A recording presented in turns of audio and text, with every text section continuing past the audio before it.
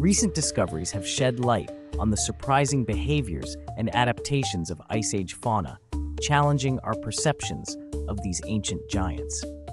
For instance, researchers have unearthed evidence that mammoths may have engaged in complex social behaviors similar to modern elephants, exhibiting skills like cooperative parenting and group foraging. This social structure might have been crucial for their survival in harsh environments, debunking the notion that they were primarily solitary creatures. Furthermore, the study of saber-toothed cats has unveiled remarkable hunting strategies. Unlike traditional predators, these cats may have relied on ambush tactics rather than endurance, allowing them to take down prey much larger than themselves.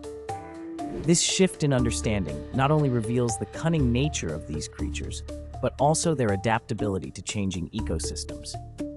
Additionally, fossilized remains indicate that some Ice Age animals may have migrated over vast distances, possibly in search of food or better climatic conditions, suggesting a level of intelligence previously unacknowledged.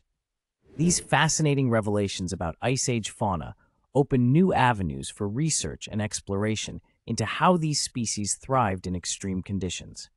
What do you think? Share your thoughts below and help us continue to bring you the latest and most interesting news. Like, subscribe, comment, and follow for more anomalies, science, and news videos.